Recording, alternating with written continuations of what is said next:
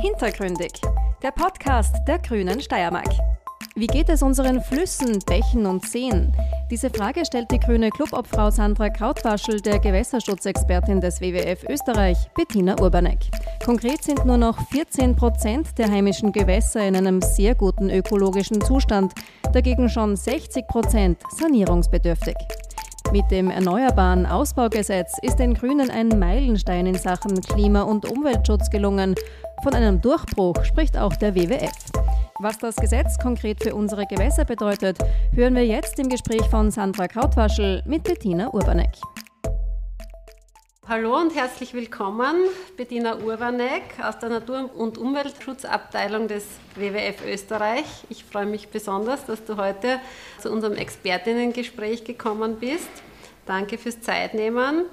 Und ich würde dich gleich bitten, weil ja nicht alle so genau wissen, äh, was der WWF tut und was ihr genauso äh, alles auf der Agenda habt, dass du dich einmal kurz vorstellst. Danke für die Einladung. Äh, das ist ein, ein super Format und eine super Gelegenheit, sich, sich auf die Art auch, auch auszutauschen.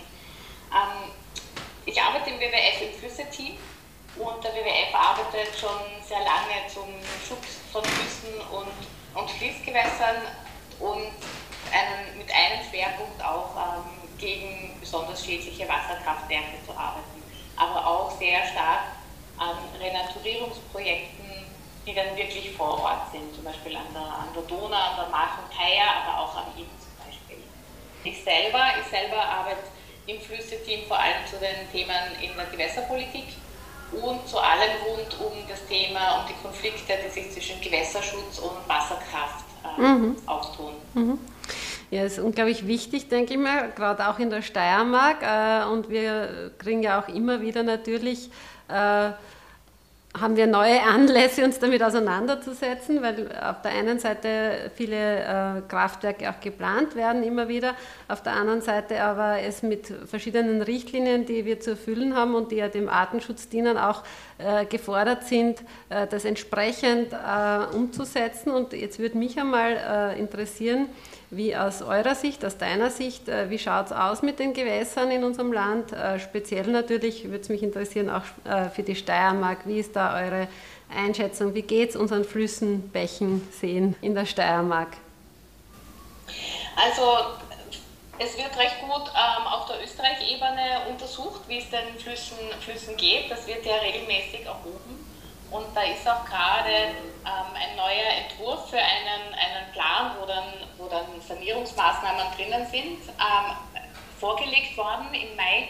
Und da ist auch drinnen der Zustand der Gewässer in Österreich. Und wir haben in Österreich nur mehr 14 Prozent Gewässer, Gewässerstrecken, muss man sagen, die überhaupt in, intakt sind und in einem sehr guten ökologischen Zustand sind.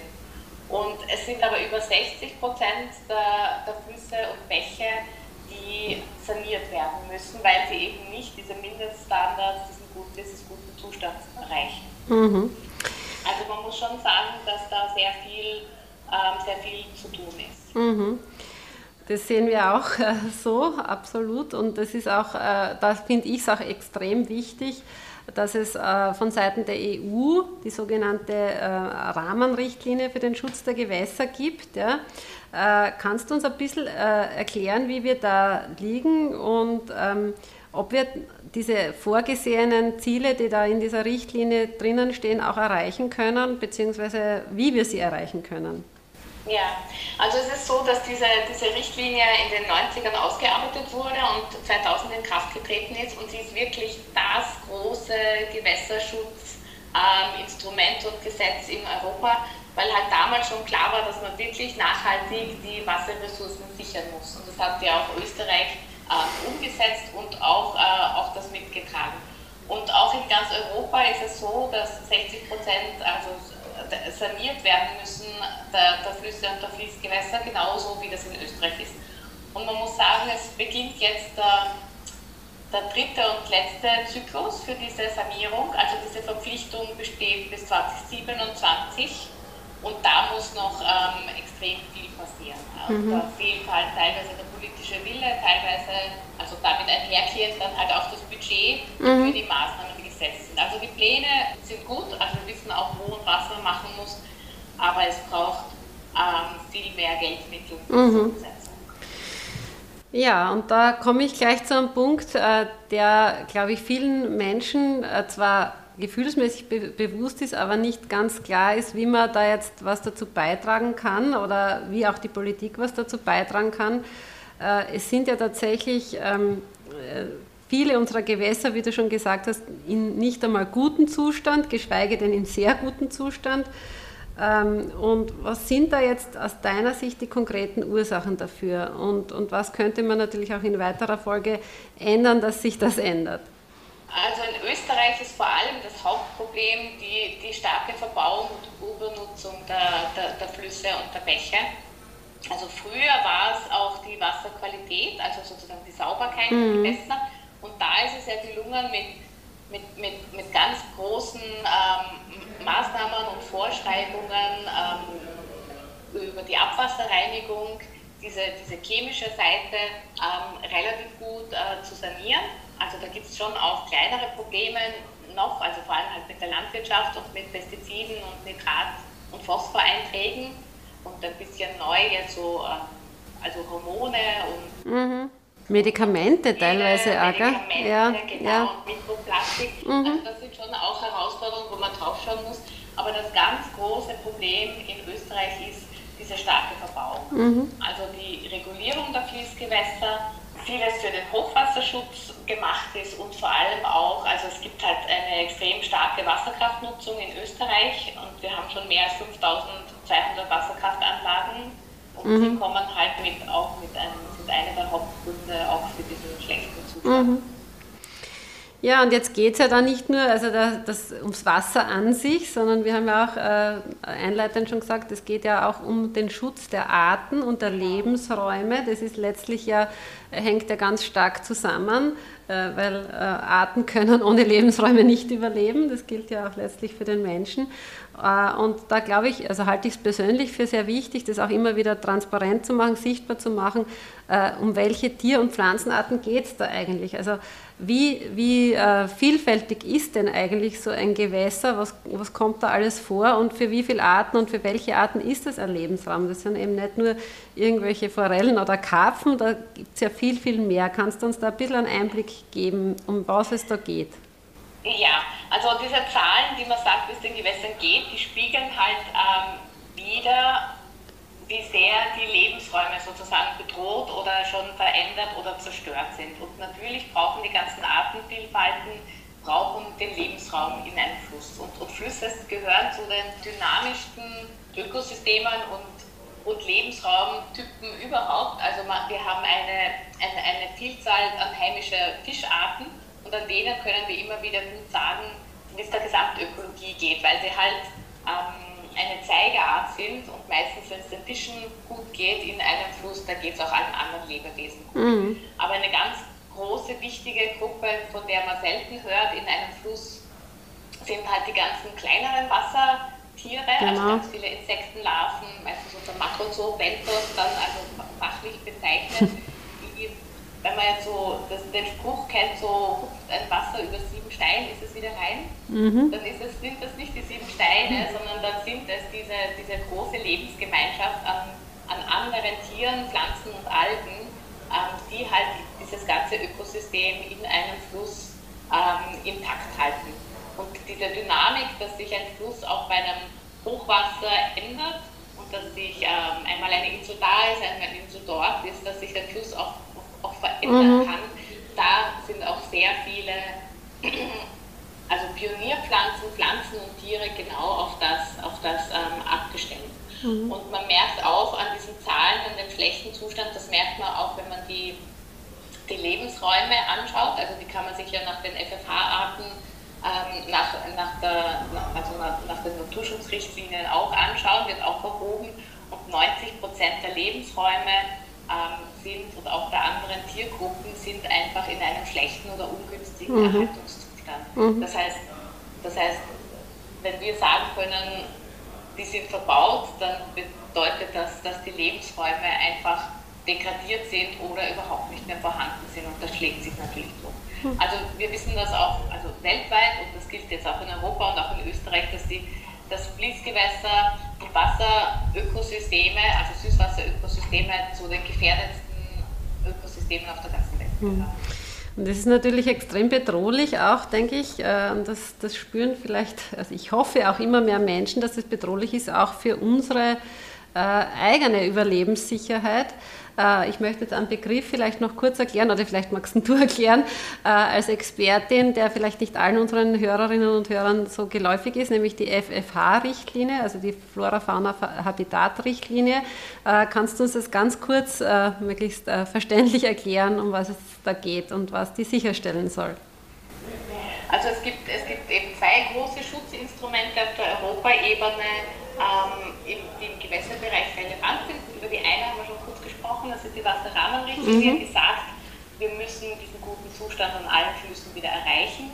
Und die Flora-Fauna-Habitat-Richtlinie ist eine der ganz großen Naturschutzgesetze auf der EU-Ebene, die, die die Arten schützt, die gefährdet sind und die auch die Lebensräume schützt. Und, und beide treffen sich an den Flüssen und an beiden kann also beide sind da für den Schutz und beide sind eigentlich die die Hauptinstrumente, die natürlich sich auch in den österreichischen Gesetzen dann wiederfinden. Aber das sind die, die Hauptinstrumente, mit denen wir jetzt sowohl für eine Verbesserung kämpfen, als auch kämpfen, dass es zu weiteren Lebensraumzerstörungen und Verschlechterungen kommt mhm. Für mich immer sind diese zwei Richtlinien immer ganz, ganz wichtige Beispiele dafür, wie wie entscheidend auch diese europäischen, ähm, dieser europäische Zusammenschluss ist für diese wesentlichen Lebens- und Überlebensfragen. Äh, und da kann ich auch ganz gut meine nächste Frage anknüpfen. Äh, warum ist eigentlich Artenvielfalt so wichtig? Also das, äh, ich merke das immer wieder, ähm, wenn man mit, mit Leuten, die sich damit nicht beschäftigt haben, äh, darüber spricht, dann ist es für viele, die jetzt nicht selber sehr stark naturverbunden sind oder denen Naturschutz nicht so primär wichtig ist, nicht so ganz verständlich. Also das Thema Klimaschutz ist, glaube ich, schon sehr breit angekommen, aber warum ist ähm, Artenvielfalt und der Schutz der Arten eigentlich auch so wichtig? Kannst du uns da mal kurz deine Meinung dazu sagen oder eine Antwort geben auf diese Frage? Ja, also es ist halt so, dass, dass äh, die Ökosysteme gleichzeitig halt auch unsere Lebensgrundlage sind. Also die Flüsse sind jetzt wirklich sowas wie Lebensadern mhm. in, in, in der Landschaft und sie, sie, sie hängen auch zusammen mit dem Grundwasser. Also sie sind einfach und für, für die Sicherung der Wasserressourcen, also sie sind extrem relevant, dass diese intakten Flüsse erhalten bleiben und auch wieder zurückgebaut werden für, für uns Menschen, weil jetzt auch was das, was das Wasser betrifft und was, was das Schutzschild jetzt auch im, im Klimawandel betrifft, ähm, Wasser zu haben und gute Ökosysteme zu haben, das ist, das ist einfach ähm, genauso wichtig wie, wie die Klimaschutzmaßnahmen setzen mhm. zu können. Also sind beides, also sind zwei ganz große Bedrohungen unserer Lebensgrundlagen. Mhm. Also die Klimakrise auf der anderen Seite, aber das immense Artensterben, das wir beobachten auf der anderen Seite. Ein bisschen, finde ich, ist es öffentlich schon ähm, stärker diskutiert, zum Beispiel beim Bienensterben. Mhm. Genau, bei den ja Bienen erlebe ich das auch so. darum, dass jetzt der Honig teurer wird oder so, sondern da geht es um die ganze Befruchtung, die die Bienen auch für unser, unsere Lebensmittel einfach, einfach leisten und machen. Mhm. Und es ist ein bisschen, ähm, ich überlege gerade, wie dieses Spiel heißt, dieses, dieses Spiel, wo man so einen Block an kleinen Holzstücken hat. Mhm. Und das Spiel ist, dass man immer eine. Wenn man immer was rauszieht, ja, ich weiß jetzt auch gerade nicht. So möglich stehen bleiben. Ja, ja. Und ein bisschen ist, ist dieses Spiel ein Sinnbild dafür, was ein Ökosystem aushält. Mhm. Es hält schon punktuell aus, wenn es Störungen und Verschiebungen mhm. gibt und wenn manche Arten verschwinden, aber es gibt halt einen Punkt, wo, wo Ökosysteme mhm. dann auch kollabieren. Also bei mhm. den Meeren spricht man schon von Todeszonen, ja. wo einfach nichts mehr sozusagen leben kann. Mhm. Jetzt gibt es die nächsten Übersuchungen, dass das auch, auch, auch Seen betreffen kann.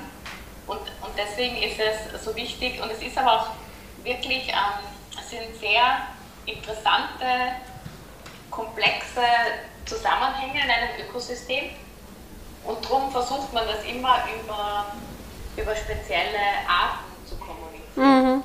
Also, also ein Beispiel aus der Steiermark ähm, ist das an der oberen Mur der Huchen, also ein großer, sehr besonderer Fisch, Genau, sehr bekannter. den ja. wir haben in, in Österreich. Den gibt es an der oberen Mur noch und der kann sich dort auch gut vermehren. Und das ist aber eine der wenigen Strecken, und das ist eine europaweit ähm, bedeutende Strecke. Und, und der Buchen ist auf der roten Liste, er ist europaweit auf der roten Liste, er ist stark gefährdet, er ist stark geschützt. Mhm. Und all das, äh, also es ist auch ein Natura 2000 Gebiet, aber all das reicht noch immer nicht. Und da kommen die nächsten Wasserkraftprojekte mhm. genau in diese Strecke, wo mhm. befürchtet wird, dass die letzten europäischen Vorkommen dieser besonderen, wichtigen Art ähm, gefährdet und, und, mhm. und verschwinden könnten.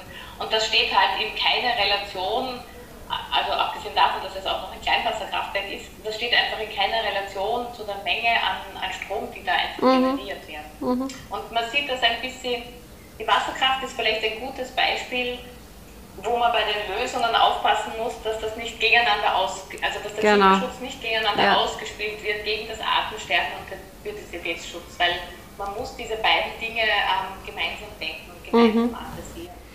Das finde ich extrem wichtig, zumal wir ja auch wissen, und ich bin ja da mit sehr vielen Expertinnen im Klimaschutzbereich immer im Austausch, äh, zumal wir ja wissen, wie wichtig funktionierende Ökosysteme auch als CO2-Senken sind und als äh, Speicherung äh, für CO2, das wir immer ausstoßen werden, beziehungsweise einfach auch, wie, wie stark das Kippen von Ökosystemen letztlich den Klimawandel wieder befeuern kann. Ja? Und diese Zusammenhänge, diese komplexen Zusammenhänge, ähm, die müssen auch gemeinsam betrachtet werden. Da bin ich zutiefst davon überzeugt. Und das ist auch jetzt, glaube ich, der Zeitpunkt, wo langsam klarer wird, dass das nicht voneinander trennbar ist ja? und dass man da gemeinsam hinschauen muss und äh, letztlich dann auch abwägen, wo welcher Nutzen stärker ist und wie man die Nutzung erneuerbarer Energien auf der einen Seite mit einem sinnvollen Umgang mit unserer Natur und am Schutz der Artenvielfalt äh, vereinbaren kann. Ja, das ist einfach zwingend notwendig, denke ich. Äh, und nur wenn wir das tun, können wir letztlich diese Gesamtkrise, es ist für mich längst ja nicht nur, nur unter Anführungszeichen eine äh, Klimakrise, es ist eine Krise wirklich des gesamten Lebensraums Erde. Ja. Und nur so können wir, glaube ich, da einen entscheidenden Schritt weiterkommen und, und diese Krise letztlich auch bewältigen. In ganz, ganz vielen ähm, Gesprächen über diese Themen, also Artenvielfalt, Klimaschutz, wie hängt das alles zusammen, äh, kommt natürlich auch immer wieder äh, erstens einmal die Frage, ja, was können Einzelne tun, um gerade das, was du angesprochen hast, nämlich diesen Zusammenhang, äh, dass wir Ökosysteme brauchen, die funktionieren, dass wir gleichzeitig natürlich unseren Energiebedarf sinnvoll decken sollen und müssen. Äh, was können die Einzelnen da dazu beitragen? Wie können Einzelpersonen dazu beitragen? Und was braucht vor allem aber auch, äh, welche politischen Rahmenbedingungen braucht es noch? Was kann die Politik beitragen, um hier in die richtige Richtung zu steuern und die Rahmenbedingungen so zu gestalten, dass das möglich wird? Und damit wäre ich eigentlich auch schon meiner, äh, bei meiner abschließenden Frage. Was würdest du da den Menschen gern mitgeben und was würdest du der Politik gern mitgeben an dieser Stelle? Also der Politik möchte ich gern mitgeben, dass es, dass es Instrumente gibt, die man einfach ähm, viel stärker verwenden und einsetzen ähm, kann und dass diese, diese Dringlichkeit ernst genommen wird. Das betrifft mhm. jetzt den Klimaschutz, aber das betrifft eben auch den, den Naturschutz. Zwei aktuelle Beispiele gibt es jetzt dafür. Also das eine ist dieser der Plan, wo die Verbesserungsmaßnahmen äh, jetzt gerade vorgestellt worden sind ähm, der heißt Nationale Gewässerbewirtschaftungsplan und der legt vor und braucht auch noch ähm, ambitioniertere Ziele und vor allem eine ambitioniertere ähm, Budgetsicherheit, mhm. um wirklich diese Lebensräume wieder gut herzustellen, weil wir kennen die Belastungen ja an den Fließgewässern. Mhm. Ein anderes Beispiel, das jetzt gerade durchs Parlament gegangen ist, ist das Erneuerbaren Ausbaugesetz, wo es erstmals ähm, gelungen ist, dass, dass die ersten Naturkriterien drinnen sind. Also mhm. dass das erste Mal eine Verbindung gibt zwischen Naturschutz und Ausbau Erneuerbare, ähm, damit die, die sozusagen schädlichsten Wasserkraftwerke nicht auch noch zusätzlich äh, gefördert werden, mhm. wenn sie zum Beispiel in einem Schutzgebiet wie an der oberen Moor mhm. ähm, gebaut werden, werden sollten. Also da ist natürlich die Finanzierung Revitalisierungs- und Förderschiene ein extrem äh, großer, großer Hebel. Also wir hätten uns natürlich noch viel, viel mehr gewünscht, aber das ist ein erster Schritt und an dem, glaube ich, muss man, muss man mhm. dranbleiben. Das ist Bei den Gewässern, mhm. Bitte. Bei den Gewässern muss man halt so im, im Sinne haben, ähm, das eine ist natürlich die Verbesserung der Situation, aber gleichzeitig hört das Verbauen ja nicht auf. Mhm. Und das ist etwas, was wirklich im, im Blick bleiben muss. Da gibt es keine, keine grüne Wiese, wo man von neu anfängt. Wir reden schon von sehr degradierten und sehr verbauten mhm. Systemen, an denen weiter gebaut wird. Ja. Und zum Beispiel muss man auch den, den, den Flächenverbrauch an den, an den flussnahen Flüssen also stoppen und sichern, weil mhm. sowohl für den ökologischen Hochwasserschutz als auch für Revitalisierungen, die vielleicht erst in fünf Jahren oder zehn Jahren kommen, brauchen wir ja dann die Flächen noch frei. Absolut, ja. An den Flüssen dafür. Ja, und, und das, was du ansprichst, nämlich, äh, dass sozusagen dieses immer mehr Verbauen der Gewässer letztlich uns selbst eine Lebendigkeit und, und natürlich diese Vielfalt raubt, äh, da wird es natürlich auch, äh, und das sagen letztlich auch alle Klimaexpertinnen und Wissenschaftler, die ich zumindest kenne, da wird es auch eine gravierende Veränderung des gesamten Lebensstils brauchen im Sinne von auch durchaus Effizienzsteigerung äh, bei der Energie, beim Energieverbrauch, aber beim gesamten äh, Verbrauch auch von Gütern. Ja?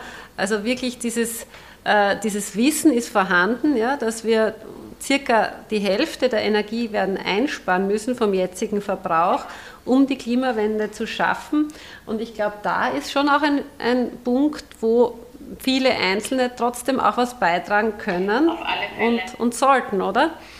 Also auf alle Fälle. Meine, auch da braucht es natürlich die großen politischen Weichenstellungen von der ökosozialen Steuerreform mhm. und von den Effizienzgesetzen. Also, da, also, also allein individuell wird, wird das nicht äh, funktionieren, aber da, also abgesehen davon, dass man das mitträgt und sich politisch engagiert, mhm. da ist der Hauptansatzpunkt auf der individuellen Ebene im, mhm. im, im Verkehrsbereich, genau. in der Dämmung von Gebäuden. Also alles, was, was, alles, was weggeht von, hm. von, vom Autoverkehr ähm, und Flugreisen sowieso und alles, was man an, an Dämmungsmaßnahmen am eigenen Haus machen kann, ist, ist auf jeden Fall gen, genau das, was es, äh, was es braucht. Aber man kann auch, ich finde auch individuell an den, an, also an den, an den Flüssen, also ich finde, man, man soll auch rausgehen und entdecken, was für Flüsse es im eigenen Bereich gibt und jetzt im Sommer baden gehen. Und das ist einfach unglaublich schön, ja. Und dann vielleicht, vielleicht findet man ja auch in der, in der näheren äh, Umgebung etwas und erspart sich dann auch, dass mhm. man viel weiter wegfahren muss. Also jetzt nicht als Verzicht, sondern weil es halt einfach auch viel zu entdecken gibt. Mhm. Ähm, an, den, an den Flüssen, ob es jetzt mal Radeln geht oder eben Paddeln geht. Ähm, und ich glaube schon, dass es auch also wir merken das jetzt beim WWF ganz, ganz stark. Überall, wo es um das Engagement und um das Kampf für Flüsse geht, geht es auch meistens um den Kampf gegen weitere Verbauungen. Mhm. Und da ist es unbedingt notwendig, dass es engagierte Bürgerinitiativen gibt, die, die das kennen und wertschätzen und die, die sozusagen dagegen also gegen auch aufstehen. In Österreich überhaupt und ähm, gibt es ja mit Hainburg eine ganz lange Tradition ja. und in der Steiermark mit, mit gegen, gegen, also Kampf an, um die schwarze Sulm gegen das Kraftwerk genau. gibt es einfach eine lange, ähm, lange Tradition, das schon zu verbinden. Und ich fände das wäre jetzt extrem spannend, sowohl auf der individuellen als auch auf der Engagement-Ebene, ähm, diese Verbindungen zu suchen, für welchen Teil vom Klimaschutz man sich einsetzt und wie man das gut verbindet, um den, um den Artensterben und auch den Naturschutz und den Umweltschutz ähm, trotzdem voranzubringen. Zu stärken, ja. Sowas wie Fake-Klimaschutz auch, auch etwas entgegenzusetzen. Mhm. Ich glaube, das ist äh, ganz, ganz ein wesentlicher Punkt. Das ist dieser äh, Wert, den lebendige Ökosysteme und Flusssysteme für unser Wohlbefinden und letztlich für unseren Wohlstand haben. Ja? Und das sage ich als eine, die wirklich ähm, immer wieder, vor allem an, an der Sulm, an einem Flussbad auch Urlaub macht. Ja? Äh, das ist unersetzlich, wenn du so nah so einen wunderschönen Naturraum hast, wo du äh, Natur erlebst, wo du dich erholen kannst, ähm, wo einfach du merkst, da ist noch was intakt. Ja? Äh, und dem wieder einen Wert zu geben und, und dort sich auch äh, Erholung zu holen, das, das ist etwas, was, glaube ich, äh, jetzt sukzessive und, und tatsächlich auch durch die Corona-Krise habe ich den Eindruck, ein bisschen mehr bei den Menschen angekommen ist, weil sie einfach mehr im eigenen Umfeld wieder unterwegs waren und sowohl das die Schönheit der Natur wahrgenommen haben, aber sicher auch die Bedrohtheit mehr wahrgenommen haben. Und ich glaube, damit sind wir vielleicht an einem guten Abschluss unseres Gesprächs. Äh, ich, ich blicke ja immer sehr gern hoffnungsvoll in die Zukunft und, und ich erlebe das auch sehr stark, dass dass die Menschen diesen Dingen wieder mehr Wert zusprechen und letztlich auch von der Politik fordern, und das sehe ich auch als individuelle Möglichkeit von der Politik, die richtigen Rahmenbedingungen Bedingungen zu fordern. Ja? Und zwar für den Klima- und Artenschutz und für eine gerechte äh, äh, Verteilung der Lasten, was letztlich, du hast das eh vorher angesprochen, auch in, im großen Stil nur mit einer ökosozialen Steuerreform möglich wird. Ja? Das bedeutet eben dann, dass es äh, für alle Menschen möglich wird, sich so zu verhalten und sich das zu leisten, was letztlich dem Erhalt unserer Lebensgrundlagen dient. Ja, also ich, ich bin sehr froh und möchte von Herzen danken für dieses tolle Gespräch, für deine große Expertise, die du da einbringst und natürlich für die wichtige äh, Arbeit, die der WWF insgesamt in diesem Bereich macht.